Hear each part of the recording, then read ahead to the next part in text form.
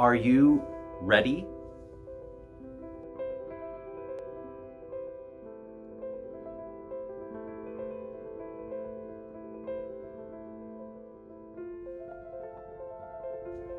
Hi, I'm Father Manny with the Companions of St. Anthony. I was hearing some ads that were going around on the radio or in TV for airlines or restaurants, different places where people used to gather and are starting to kind of gather. And the line that seems to be the theme in all of these ads is whenever you're ready, we're ready for you. And it's assuring, you know, hearing different companies say, we're doing our best to make sure that you feel safe whenever it is that you decide to come back into our building, our church, our school.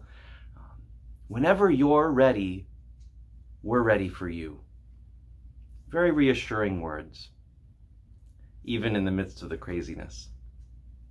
But I couldn't help but think of how those same words are the words that Jesus says to each one of us, especially when dealing with difficult things in our own journeys. Whenever you're ready to talk about that, I'm ready for you. Whenever you're ready to address the hurts in your heart, I'm ready for you. Jesus is ready for us when we are. Are we ready?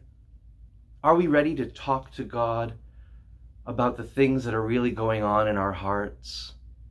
Are we willing to take that first step?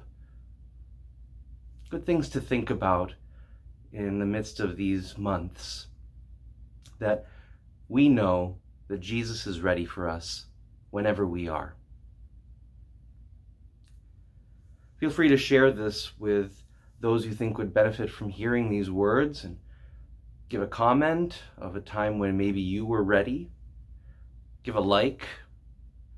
Don't forget to subscribe to our YouTube channel for more videos like these. May the Lord give you his peace.